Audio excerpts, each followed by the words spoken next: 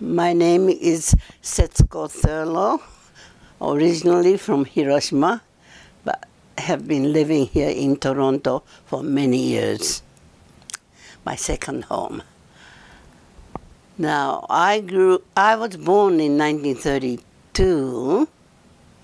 I was raised there. I lived there until I finished university and then came to the United States on scholarship. Um,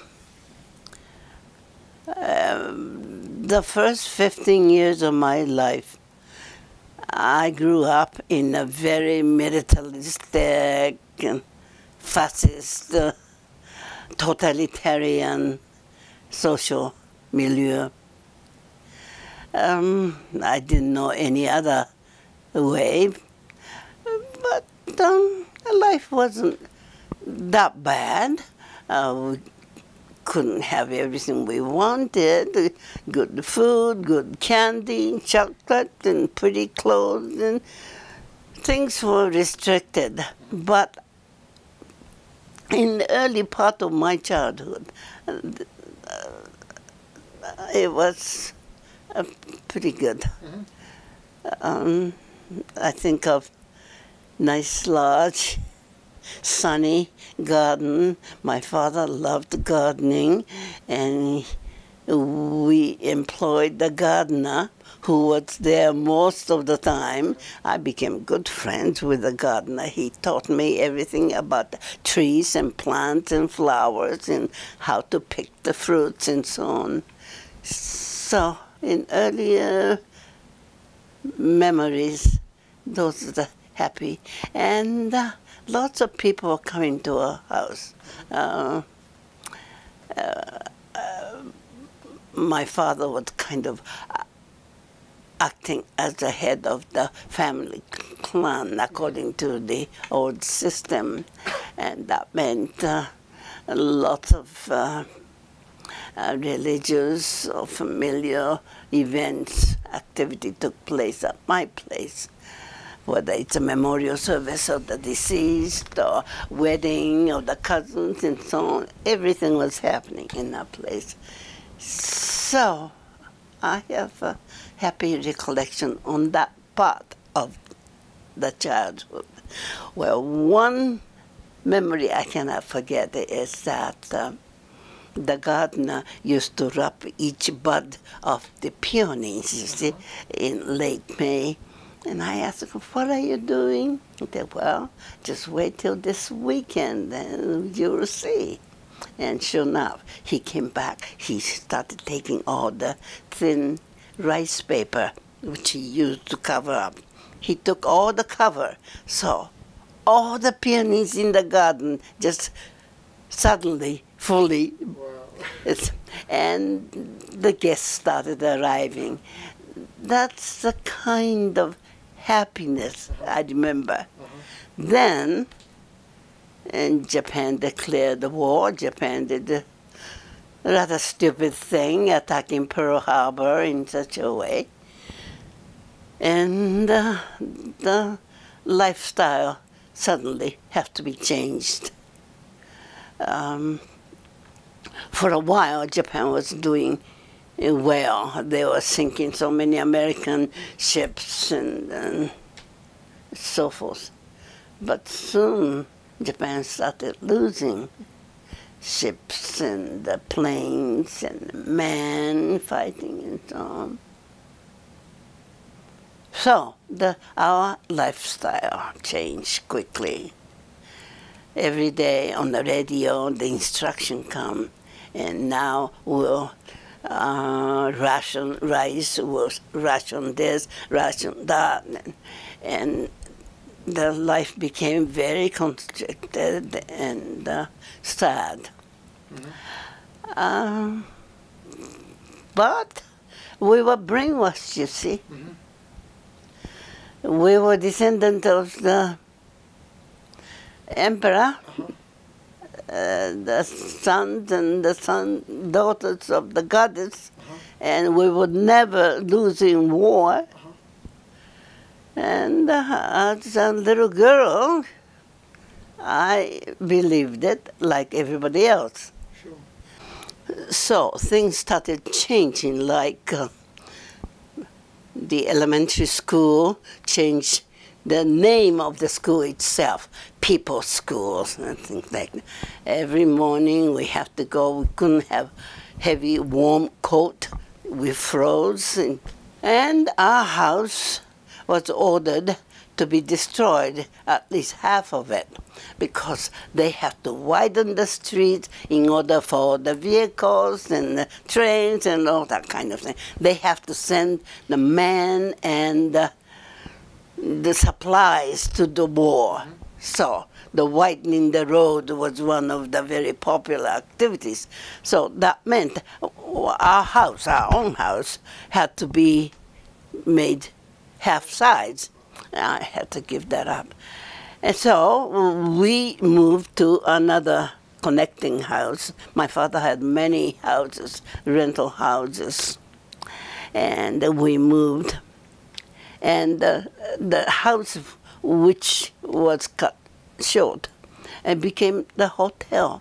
Hotel to accommodate Japanese men who are being shipped to the battlefield. You see, they were being recruited from all over Japan. They were brought to Hiroshima and spent the last night in Japan and get on the boat from, from Hiroshima harbor. And then, so they were spending the last day of their life in Japan. So even as a little kid, I knew what that meant. You know, they left their children and the wives and so on and they were having the little sake and having a party last night. Well, that just stays in my mind because my own house became to accommodate the Japanese men who were enjoying the last night of their life. Anyway, uh, in the spring of 1945, the air raids started badly. Well, even before they were coming just to investigate what's down there, but I think they were ready. Now, after they captured the Tinian and Tinian Island in the Pacific, that was a good location. The plane could just fly over to Japan in one hop, start attacking the cities. So that was the beginning of the indiscriminate attack of civilians, starting in Tokyo and Osaka, Nagoya, all the major cities. I understand more than 100 urban centers had been burned out. So, we are wondering when it's going to be our turn. Hiroshima was considered to be the 10th largest city at that time but even the smaller cities had been bombed. How come? Nothing is happening. Well, plane keep coming back every day, but they don't drop the bomb. Why not? What's going on? And all kinds of rumors spread. Uh, little did we know that U.S. was keeping Hiroshima intact for special purpose. Because by then, Mr. Truman had the information in his pocket. They were successful with the first testing of the bomb in July. And uh, um, he or his military men sent the message, don't attack Hiroshima. Well, you can easily guess if you want to test the new type of bomb, you want to have, uh, you want to attack the city mm -hmm. intact rather than already nothing but the rocks and ashes. So we didn't know that until much later, and we were very anxious. So we were going to school uh, with the special instruction, with um, special headgear, uh, in case of uh, attack. We have to put that on. We are always carrying the bag filled with the guards and all the medical supplies and even some food like roasted beans and something. So, um, uh, so oh, such speedy change in our lifestyle. And guess what? I was meeting my students at the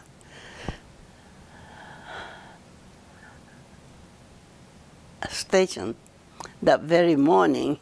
I collected them and uh, we would start the march to the army headquarters. And I would say, well, march, and then we get to the gate of the army headquarters. I say, Kashira, meet the, the head right. You know, you have to greet. So even the little girls of 13 was acting like a little Japanese soldier. You have to behave that way. Anyway, uh, I was a grade 8 student uh, grade seven, yes, we had almost regular lessons at schools. Like I learned English. This is a pen. This is a pen. We kept changing. And that's how I learned English. And that was fun. But uh, the second year, grade eight year, we hardly had regular classroom instruction uh, we were sent to the farmers and to help farm and the, the company where we packed the tobacco, cigarette box we sent to the front line to help.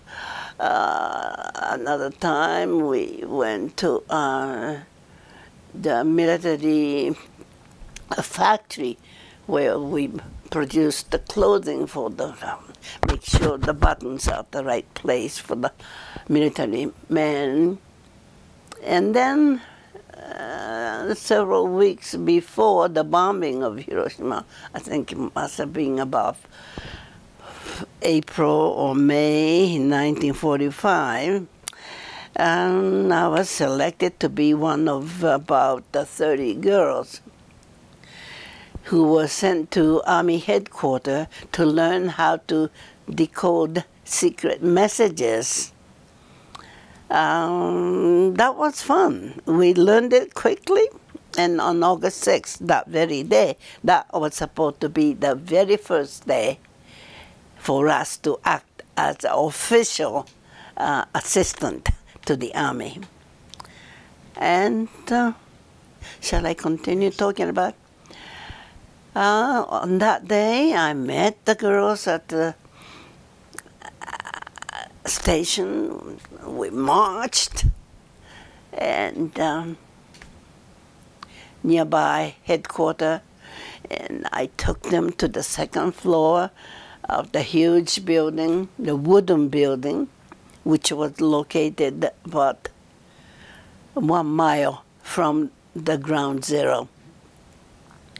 And at 8 o'clock, we started the morning uh, assembly. Major Yanai was giving us about 30 girls the pep talk. You have been trained well. This is the very day you start demonstrating your, you know, loyalty and da da da da da to the emperor. We said, "Yes, sir, we will do our best." At that moment, I saw in the window the tremendous flash. Oh, somebody said the, the flash or the light brighter than the sun. Somebody say, well, th tens of thousands of sun burst together. But anyway, I did see that and I couldn't comprehend. But before you had a chance to comprehend what was happening, I knew my body was flying up in the air. I knew I was floating in the air. That is the last sensation I remember. After that, I lost consciousness. Now, when I regained the consciousness in the total darkness and um, silence, I knew finally Americans got us. You see, people in Hiroshima were anxiously wondering why we hadn't been attacked when everybody else had been attacked. But uh, even I realized this must have been done by the U.S.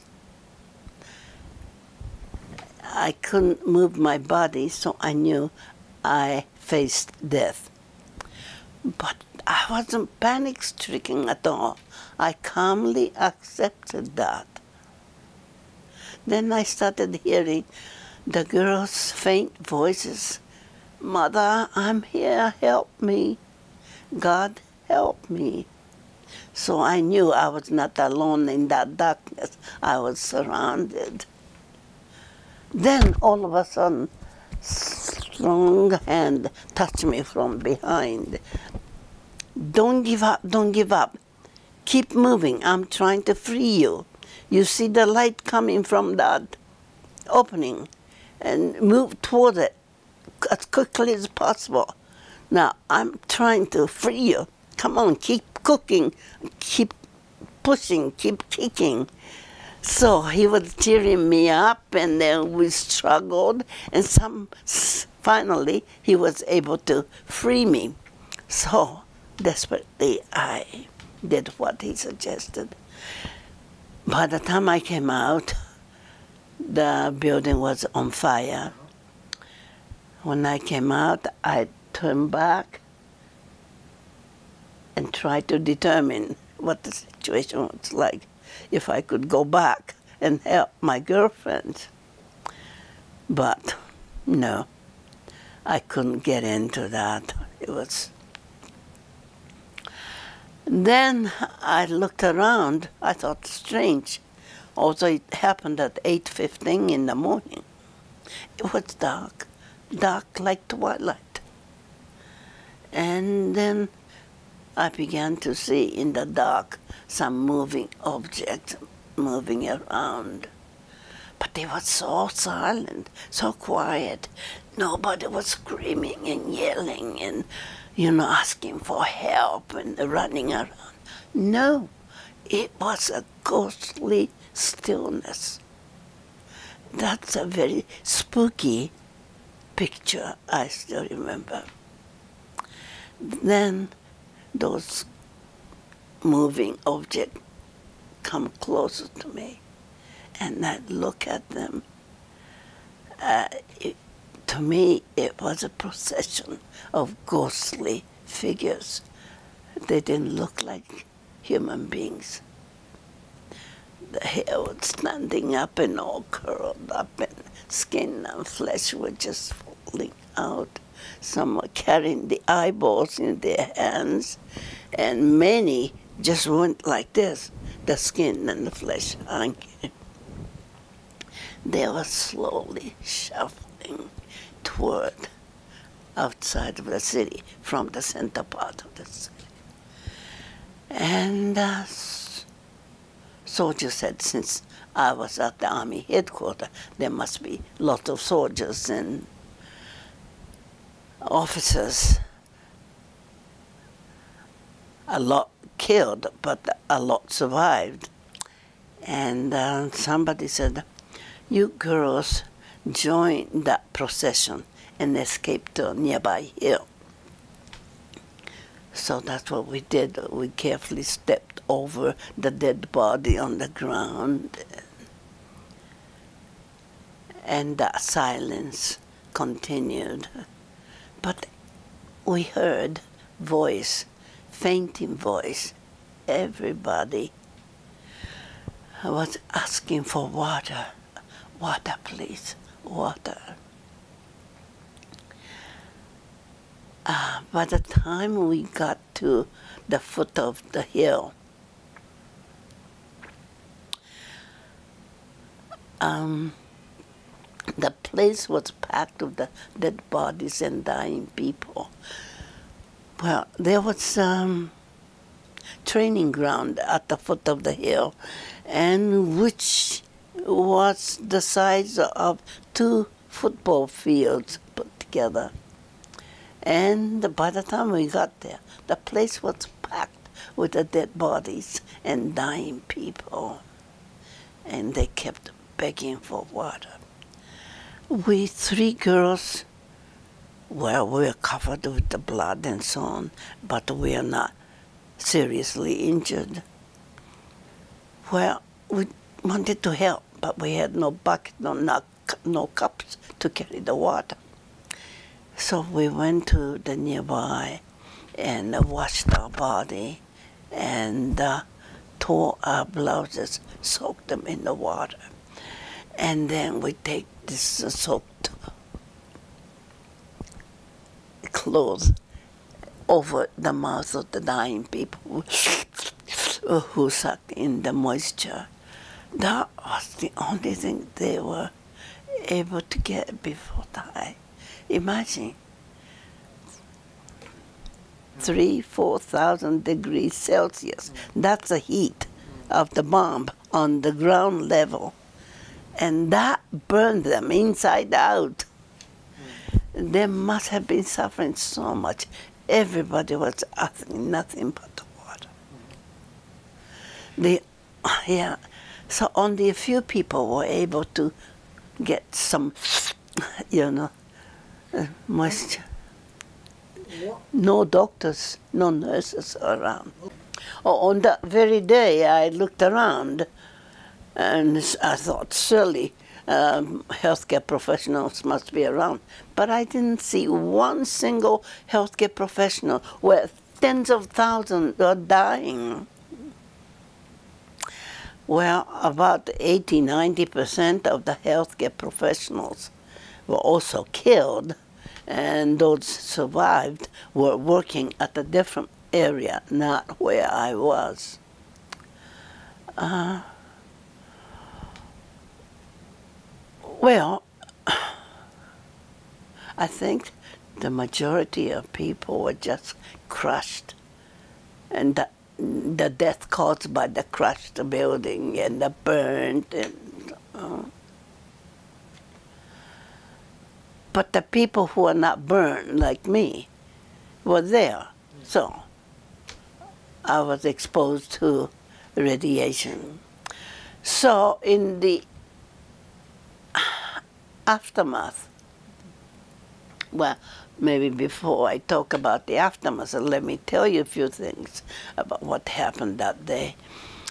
My schoolmates, a majority of my schoolmates, were working in the center part of the city the grade seven and eight students from all the high schools of the city were brought to that place because city had a special plan.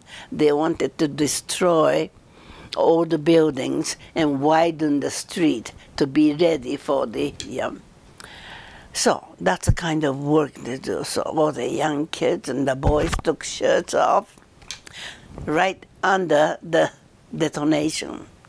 They are the first one who simply vaporized, melted. From my school, over 300 students were there. I'm alive because I wasn't there. I was somewhere else. For, you know, one mile away, I was inside a building. I was buried by the collapsed building. I must have been protected. But those people had no protection directly under 4,000 degrees Celsius heat, just carbonized, vaporized. And uh, one of the girls survived, and she came back and told us what happened to the girls before they died. They just crawled around and they couldn't identify each other because they were so blackened and swollen. But by voice, they could call each other. They sat together in a circle. They sat, they sang hymn, I understand. And particularly the, the beautiful one, my favorite, Shuyo Mimoto ni chikazukan in English, it's something like, Lord, I am coming near you. something like that. And as they sang together, one by one just collapsed and died. This is what happened to my classmates uh, because one girl survived and came back and told us the story. Mm. I know the story. And my own sister-in-law was a teacher. She was directing, supervising activities of those people. We tried to find her body. We never found. So she left the two little children as orphans. In, in Let me see. Yeah. So those are the people who had some tangible evidence of uh, injury, either burnt skin or swollen face or whatnot. But there are a lot of people in the city or in the outskirts. They looked all right. For example, my uncle and aunt, when we heard they survived, we rejoiced. But a week later, they started feeling so sick. They started vomiting on, and they started having purple spots all over the body. And that was a sure sign they are going to die. Indeed, they died. So in those days, we survivors, first thing we did in the morning was to check every part of the body, make sure we would live another day. That's the kind of anxiety we lived with. Um, now, long term, well, in, the immediate aftermath, oh, people just felt so lethargic, even if you didn't have any tangible evidence of suffering, just just didn't have energy. And some people just complain about these survivors. And they are useless. Uh, they don't work. They can't work. So if the farmer wants to employ them or don't employ them, they don't work because they are not physically capable of doing that. And a lot of people suffered with a scar, a very bad scar. They look, they didn't look nice. So some thoughtless people started calling them, oh, they're ghosts and so on. Social alienation, yeah and discrimination was real. So those girls with that kind of, um, no, they lost the opportunity for equal treatment for anything, employment, marriage, housing, and whatnot.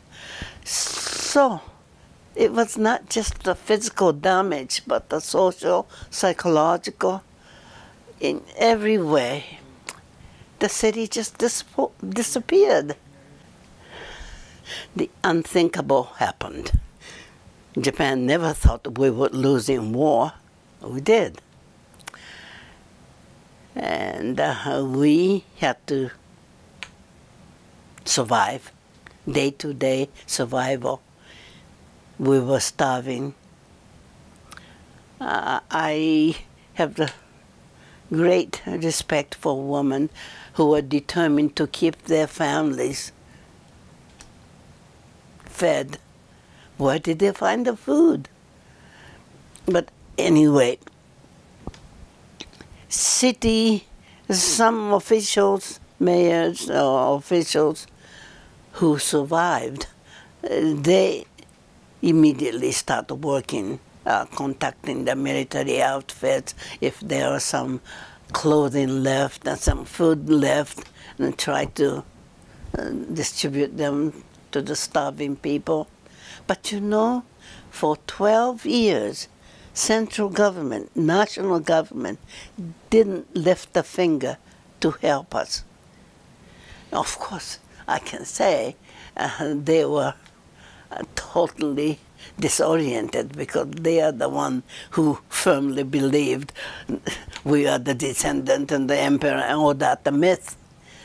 And they were totally immobilized.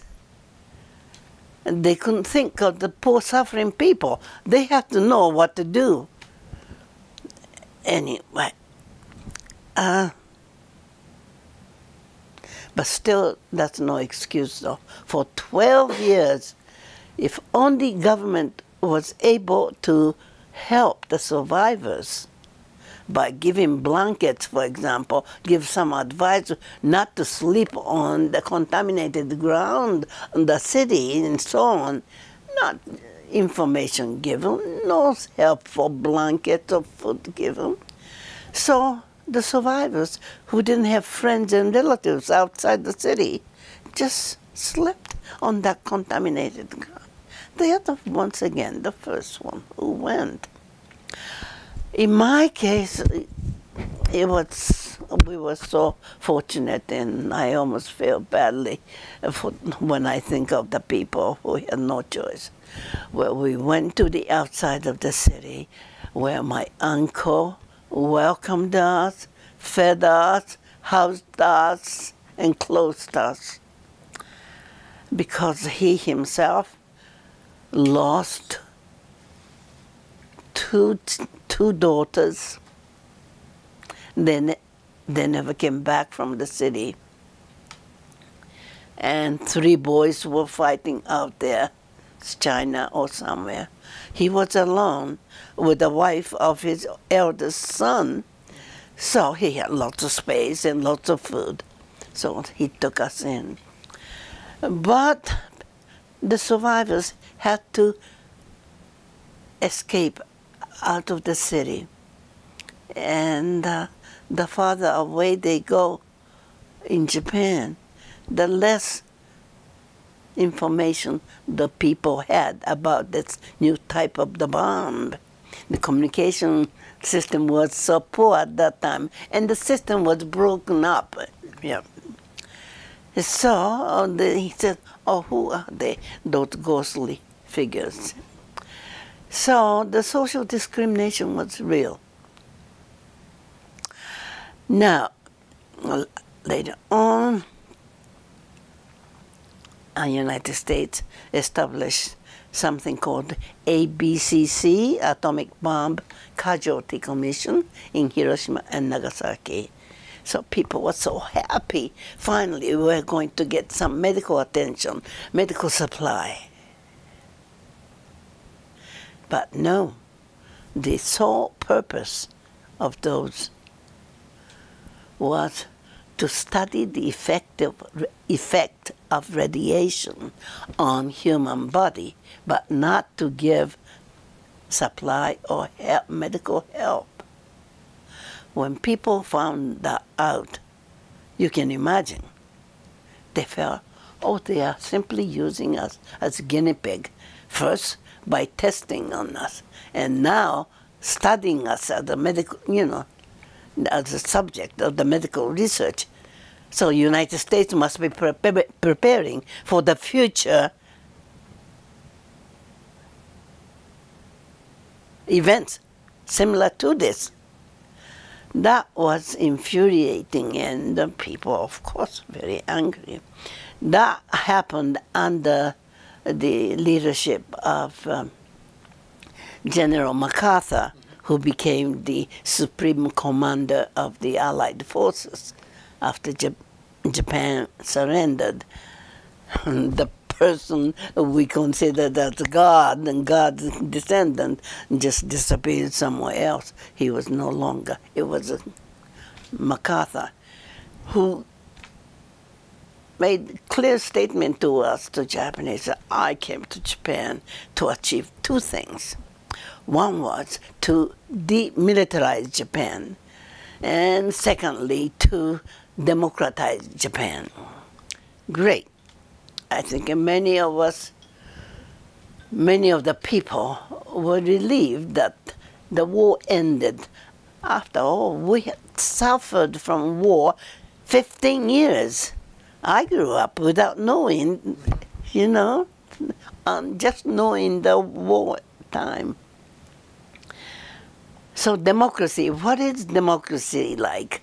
Uh, what is it supposed to be? And we were anxious to learn.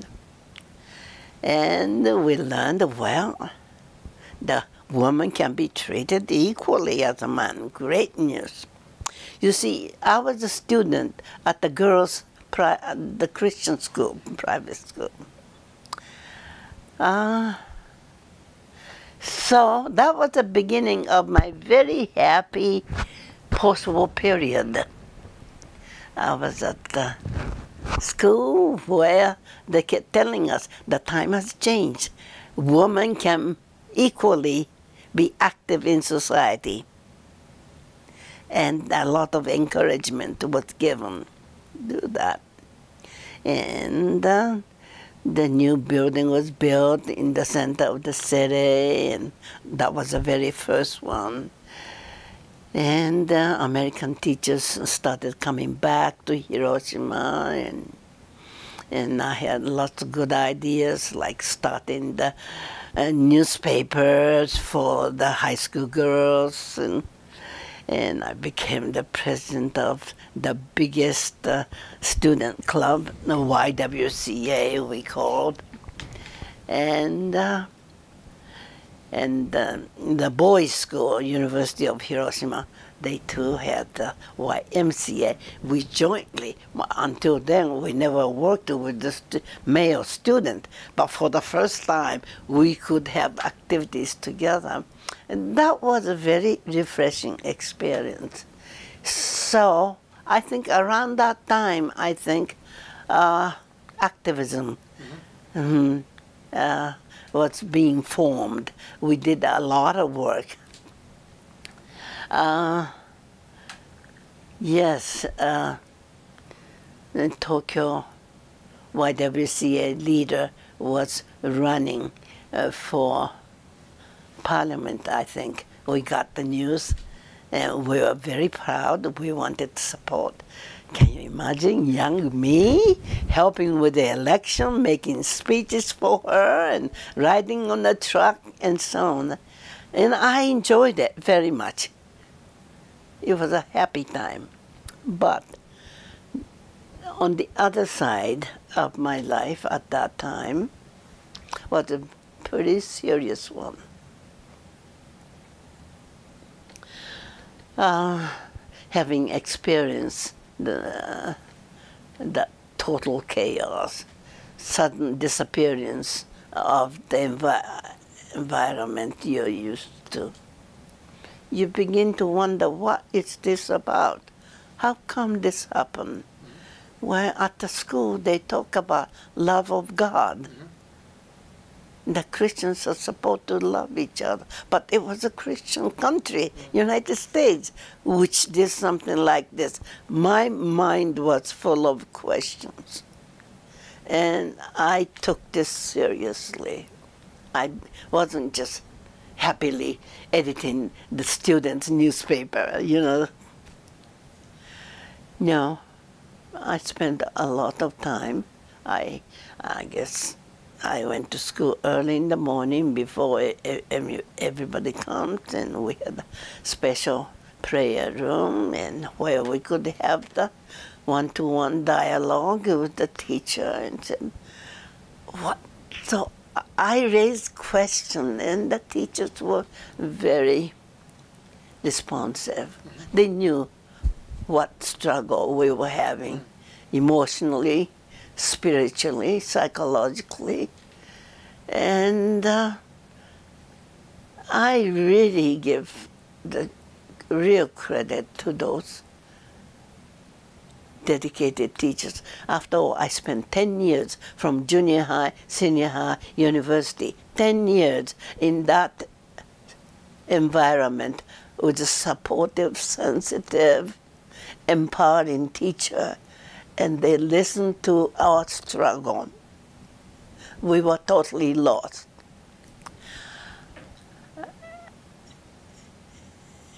And uh,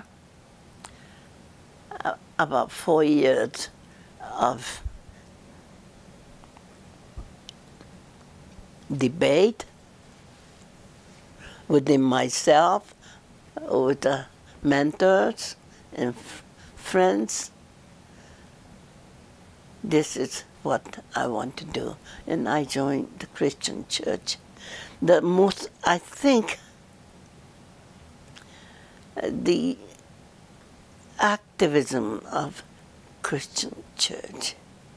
The emphasis of serving fellow man. Uh, that was very important to me. Not just to ourselves, but we work together in the community. For example, at that time, I was in high school.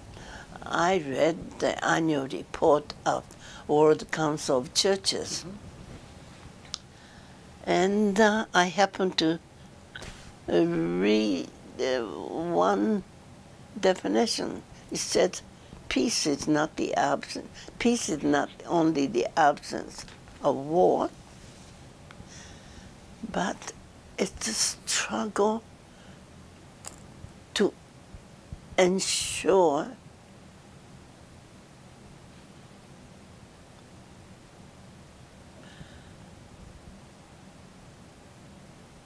justice to all people, something like that. Uh, as I remember, in those days, we never used the word social justice. Now we use it, but not in those days. And then also it said to, to give or to provide to all people. All people, that was important. Not, uh, not, not segregating the uh, rich or poor and better educated and not educated because even in Japan in those days, there was some kind of uh, uh system. Like I come from samurai -hmm. uh, family, not about the commoner, that kind of thing. Just here we're talking about all the people, mm. communist or people who them well, I wasn't sure what the World Council of Churches says, but I was interested in learning more about Christianity. I guess every chance I had, I went to library reading their publication and just happened to see, hey, this is a great idea. Yes, peace, not just the absence of war. No, that is easy to understand but to all people. You mean without discrimination, to all people, equality. Wow. And uh, what did I say? The social justice. What does that mean? What does that include? Equality, and, you know, and human rights, and so on. We never knew what the human rights was. So these kind of stimuli was always making me question and I was always going to teachers, what does this mean? What does this mean? And I was full of questions and I'm glad I was. And I asked and I got a lot. And this is why I decided, okay, this is the way I am going to live. Now, you see, shortly before the bombing took place, the city decided all the elementary school kids, uh, grade five up, have to be evacuated from the city mm -hmm. because we were anticipating the attack. So th those 5,000 kids were moved out of the city. So the war ended, they came back to the city, there was no city. Mm. There was no house. There were no parents. 5,000 kids without central government's help. How do they survive? They started running around on the, in the ashes and the rubble near the black market, mm -hmm. learning how to earn a few yen, pick, pickpocket, on that kind of petty criminal activities. Well, my church minister was one of those people who were there to try to do some help. to those kids. Uh, raise money and uh, and uh, start the orphanages here and there. And also there are a lot of families where the fathers and sons never came home from the war. The woman had to feed the babies and the children. Amazing mm. strength a woman have. But they had no place to live and so on. So not just the orphan orphanages, but the uh, women's homes, uh, just about any basic need, human needs have to be met. And the people who are convinced of their responsibility just kept themselves busy. And my church minister was one of those. And he was criticized by many people. Your church minister, your job is to stay in your study and prepare a sermon for next Sunday, kind of thing. Even among the Christian, ch- yeah, the congreg- even from among the congregation, yeah, I, I hear. I was so proud. He said, "Well, Christian faith without action it's not worth talking about. Always emphasize love and action. So I was watching how adults work in the aftermath of that society, how, how they work influenced younger, growing children to respond to the so-called crisis situation. You don't have to talk much. You just have to act. Then we watch and we know what's right. And this is the way I want to live and so on. So by the time I graduated from college, I knew what field I wanted to go on. I wanted to be a social worker. Mm -hmm. So I said to the president, who was a graduate of Columbia University. And, um, and she said, you know, Setsuko, now the time has changed. Women can do uh, important things. And uh, you go and learn about the group work, group leadership. We need to help women in this city. Go and study this and that, come back and be provide the leadership for women in Hiroshima. What? To be a social worker, you have to go to university? Just with a good will, anybody can do that. Yes, anybody can. But there are new way of thinking, and you can study theory and practice and so on. You can be more effective. So, with that kind of discussion, the opportunity for me to get the scholarship to come to United States and study. That's why, yeah. But I must tell you, that was 1950, no, 1954, I graduated. And that was a very important year uh, for us American had been testing hydrogen bomb, but on March 1st, I think, in 1954, the Americans tested the largest hydrogen bomb at the Bikini Atoll in mm-hmm. Marshall Islands. And that created a fury and because many fishing boats were around an American claimed they uh, received a warning, but uh, there were a lot of them. And one of them was Japanese, and uh, one fisherman died. All the crew members were covered the, the um, radioactive. Uh, and so entire Japan woke up. Not only Hiroshima and Nagasaki, but now Bikini, look how destroying the environment and the people are uh, showing the similar kind of symptom as our people in Hiroshima and Nagasaki did. United States, this is unforgivable. And that time, the entire Japan woke up to the reality.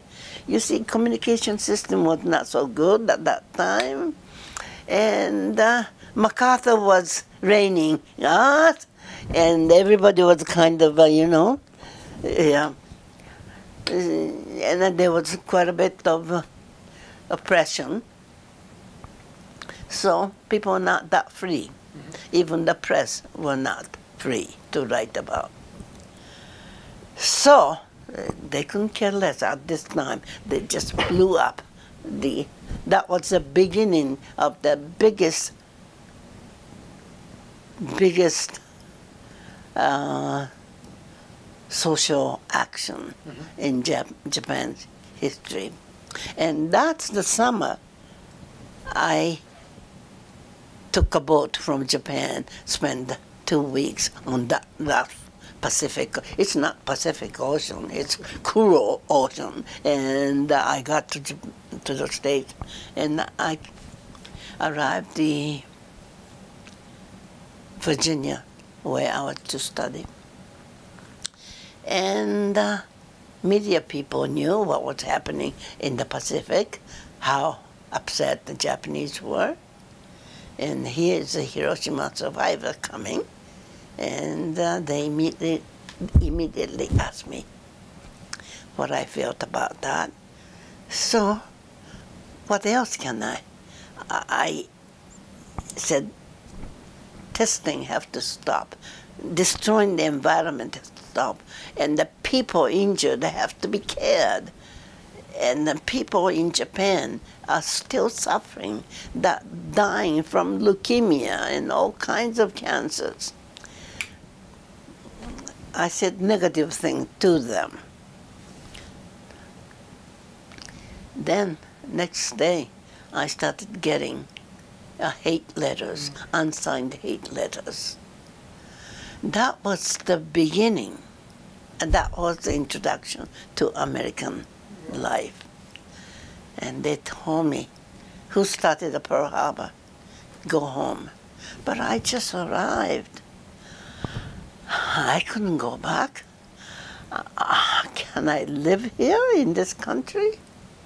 How am I going to survive here? Do I pretend uh, I saw nothing, I know nothing and not no experience? Put the zipper over my mouth? It was a traumatic experience. I couldn't go to the school. I mean, I couldn't go to the classroom. I couldn't concentrate. So I stayed in the professor's home all by myself for a whole week. And I prayed and suffered, thought, and and it, it was the loneliest time. But uh, in reflection, I feel that was an important time that gave me the opportunity to really do the soul searching. What is the value for my life? What is the purpose? What my job is? To share my experience in Hiroshima and what it means to live in nuclear age, what horror that brings to humanity, and we should never ever let that happen again to another human being.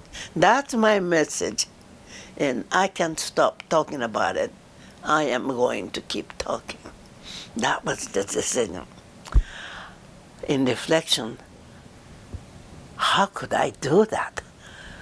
You know, alone, mm-hmm. I was able to do that. I'm grateful.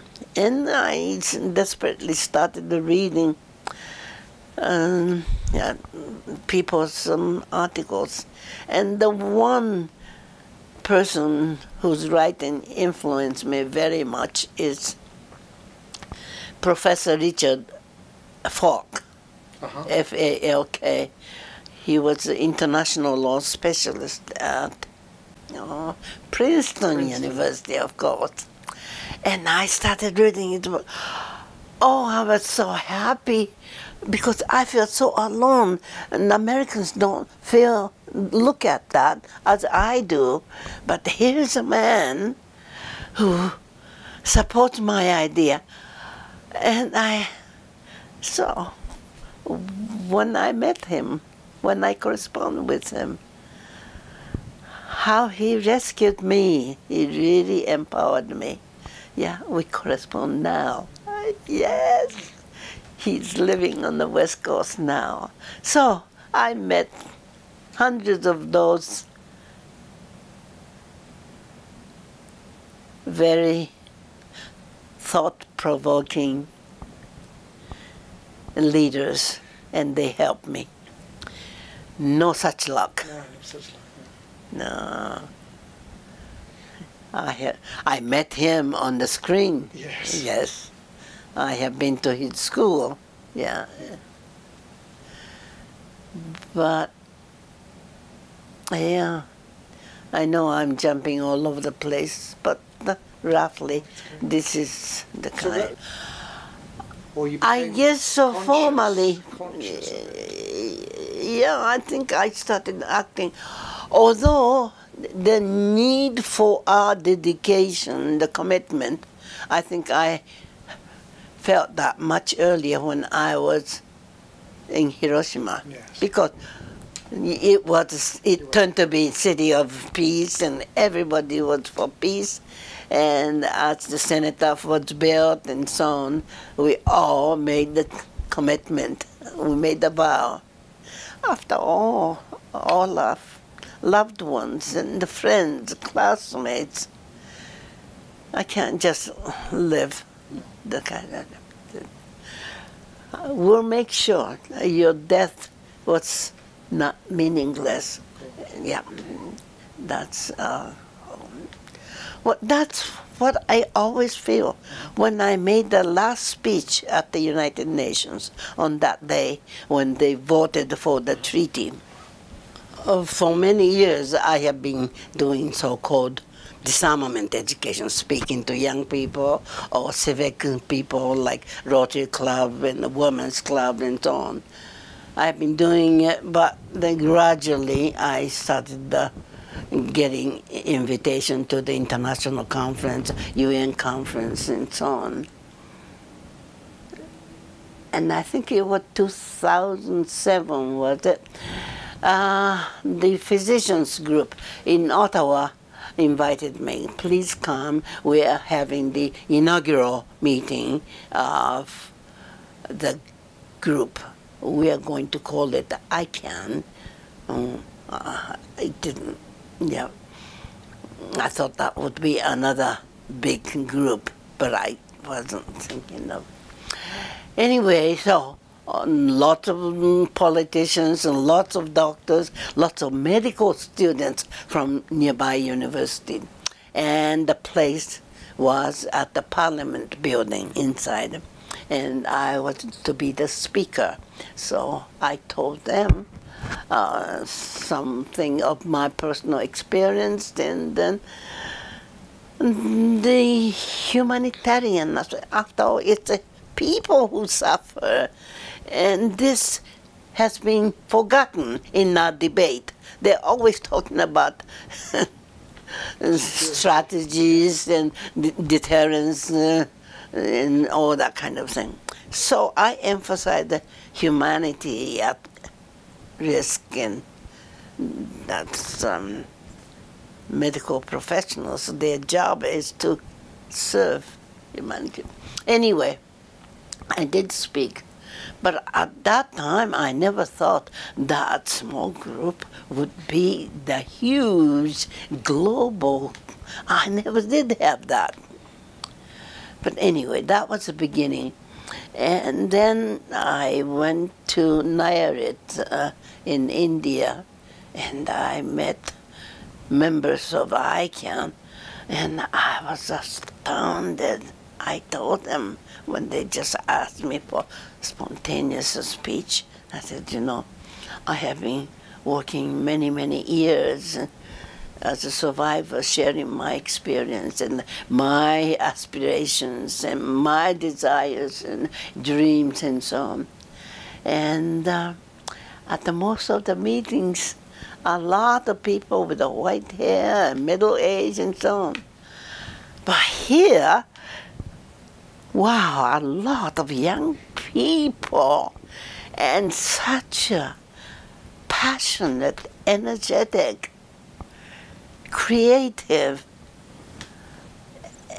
and well informed too. Very studied mind, and so committed. And I was so excited. And uh, I think I must have shared the, the feeling of joy.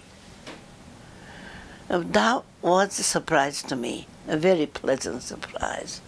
And I have made several trips after that to um, Germany or England or other parts of Europe. But young people come. I go to medical school, and I was at in Berlin, yeah. Well, some didn't know anything about the issue, but some started studying it and so eager to learn. It was a tremendously empowering experience to realize finally some people of the world are not avoiding it. They want to learn, to find out what kind of world they are living in, what would be their responsibility. That gave me hope really. So I enjoyed working with those people. At that moment, my mind uh, was not functioning normally, almost numb. Did I hear it right? Do I? Am I seeing it right? I have to convince myself. It took time. And then I took my glasses off, shut my eyes, and the tears just started welling, falling. Finally realizing what it means. And the first thing which came to my mind was to share this great news with all those loved ones who would have loved to hear it.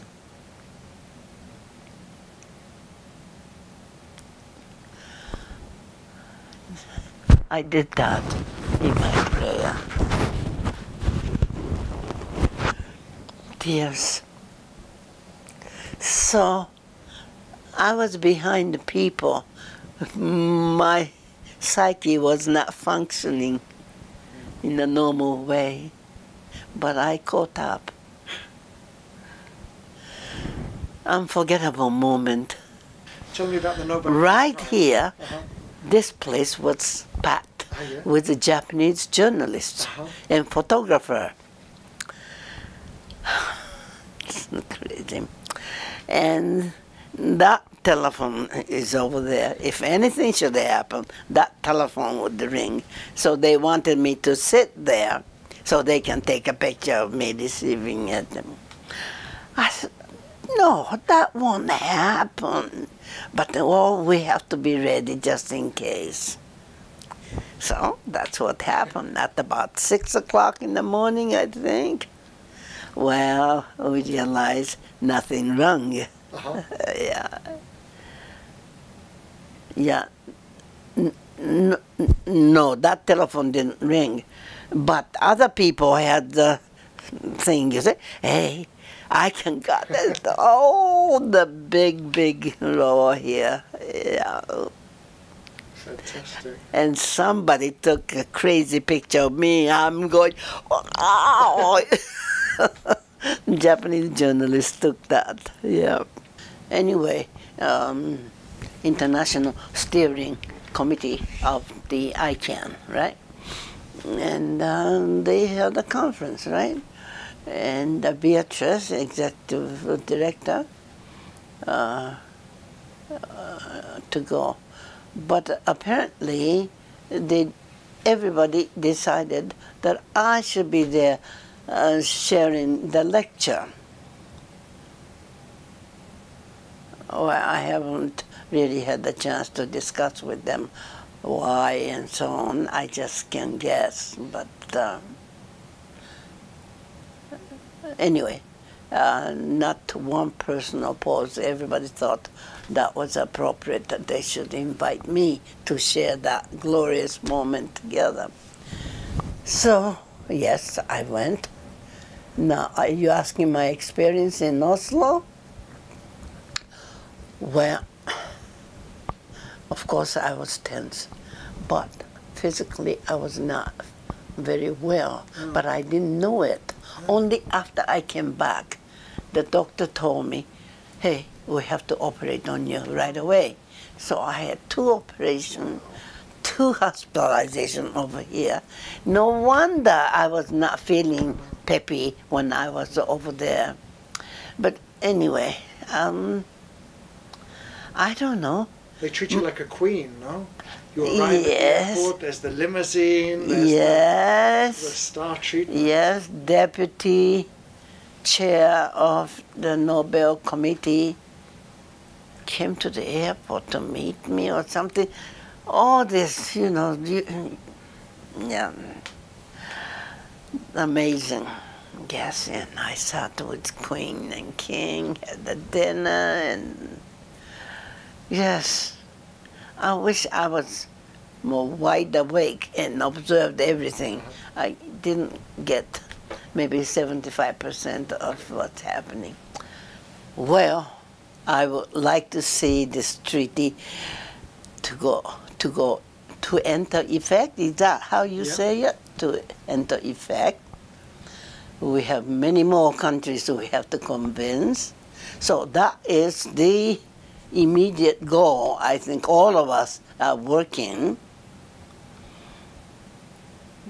Um, I'll be making a trip to Japan next month and uh, I'll be doing a lot of speaking with the people and uh, some politicians as well, like prime minister and foreign minister and so on.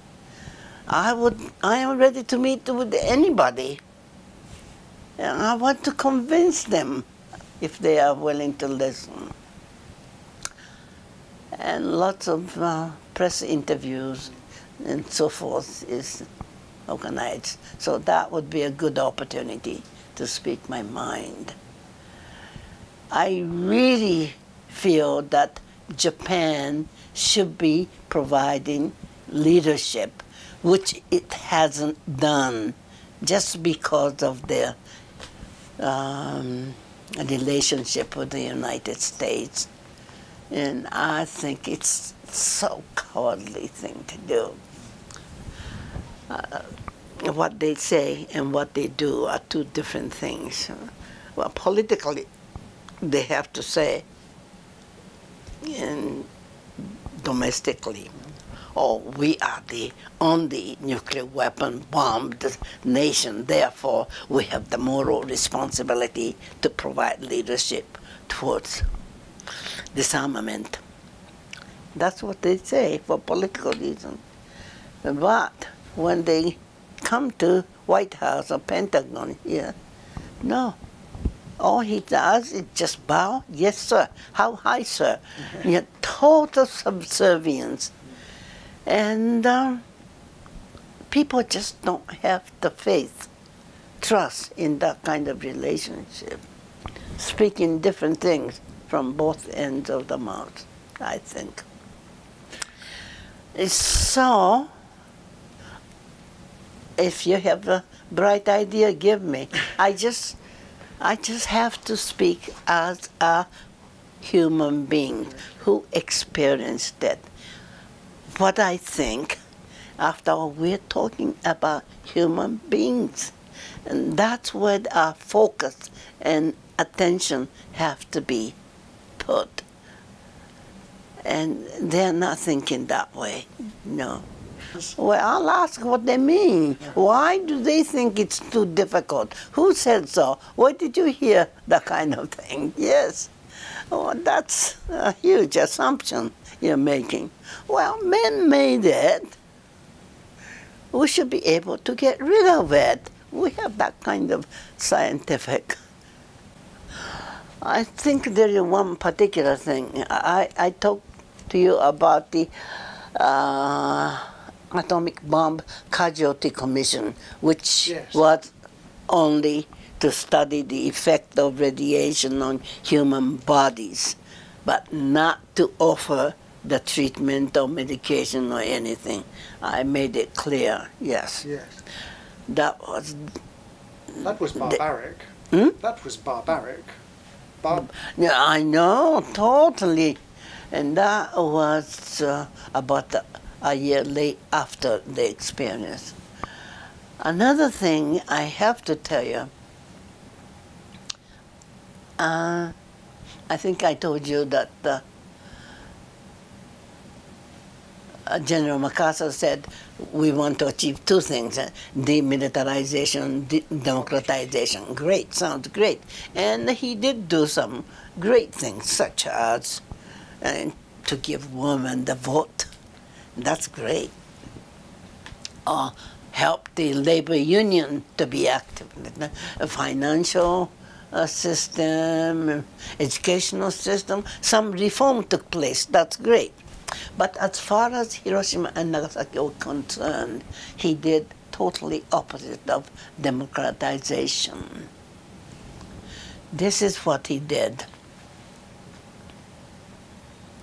He did not wish the human suffering caused by those bombs be understood by the world. For that, he have to uh, he, he introduced the censorship.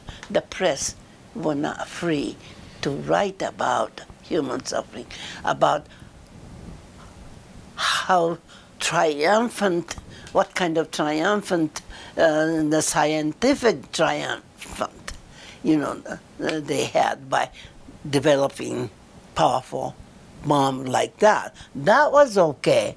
You can talk many times but about human suffering it caused was not to be written. And some newspaper have written, and they were closed. They, their work was terminated. You don't write about Hibakusha, the suffering people, because United States did not wish the backlash from the rest of the world and from their own taxpayer too. Yeah. And not only that, they started confiscating personal things among the survivors. Some people kept the diaries, mm-hmm. or the pictures, photographs, slides, uh, all kinds. Of, you know, Japanese write the poems and long one and short one and so on.